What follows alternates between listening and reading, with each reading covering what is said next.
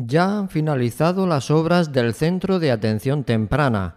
Algunas de sus estancias habían sido gravemente dañadas por la dana. Las obras han consistido principalmente en la reparación de la fachada, ampliación de las salidas de ventilación del edificio y la reforma integral del patio. Las obras de reparación de este centro han tenido un plazo de ejecución de tres semanas y un coste de 14.598 euros.